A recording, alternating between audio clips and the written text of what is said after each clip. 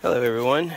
I am going to attempt to get rid of a musty odor that just started up after my unit decided to go back into air conditioning mode after it's been in heating mode through the winter. But this particular model is a complete package unit that stays on the outside of the house. So anyhow, this is the evaporator coil, not to be confused with condenser coils, which is right here. Um, earlier I had cleaned the condenser coil with a sulfuric acid um, cleaner that was designed for such, but the sulfuric acid is definitely not recommended for these coils. So I will be using this product here that I purchased at Lowe's and also has great reviews on Amazon as well, but uh, it's cheaper at Lowe's. So I'm going to be spraying it on these coils and let it sit for a little while and then I'm going to carefully wash it off because as you can see that's my ductwork that goes into the house and we definitely don't want to have any unnecessary moisture in there if we can help it because that will only lead to other issues down the road. So I'm to stop here and uh, spray it down and then we'll be right back. Okay, I just finished spraying down one side of the evaporator coils. Um, I tried to get in there as best I can, but as you can tell, it's kind of a spot, a tight spot. So I'm to count on that stuff slowly dripping down towards the bottom where I couldn't reach too well. But I'm to try to record while I spray this a little bit. But as I shake it, there's no action to where there's an agitator ball. This seems like it, the can is completely under pressure. But I'll stick my hand up down in here and um, spray away. And it's best if you start at the bottom.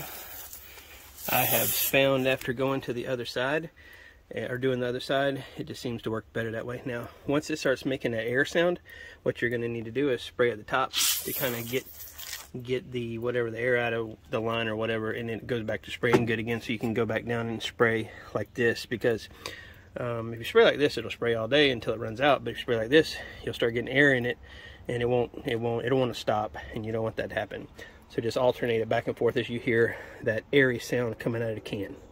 So I'm gonna finish spraying this up and we'll be back.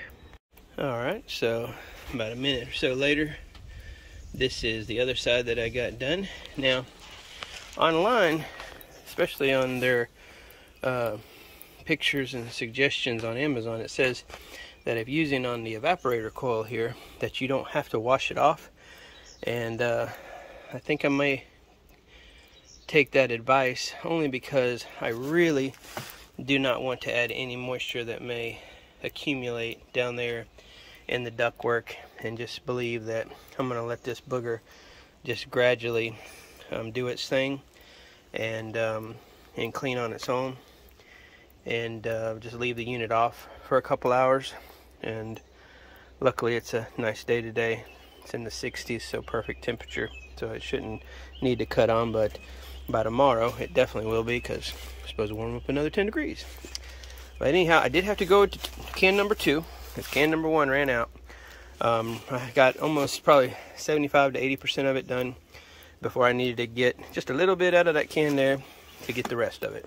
But in order to get to your evaporator coil on this unit and like I said every unit's different but this one was really simple. Um, you just had to loosen bolts. There was one bolt there and then there was a bolt here on this corner and then there was two on the back back there.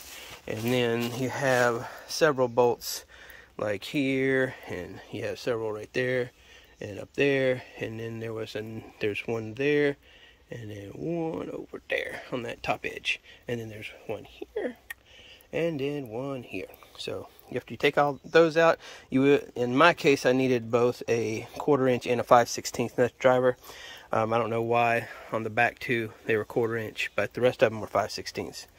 So um, anyhow, that's all the tools you're going to need in order to take that top off, which is right there. Now, this was the first time I had to remove this because this unit's less than two years old.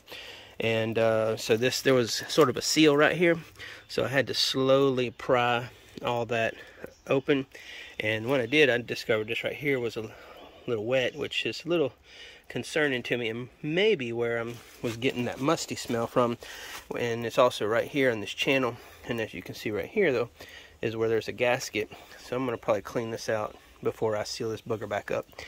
And then uh, we'll be good. And hopefully this will fix the musty odor smell that I got when my unit kicked on the other day when it warmed up a good bit so um, I hope this helps someone.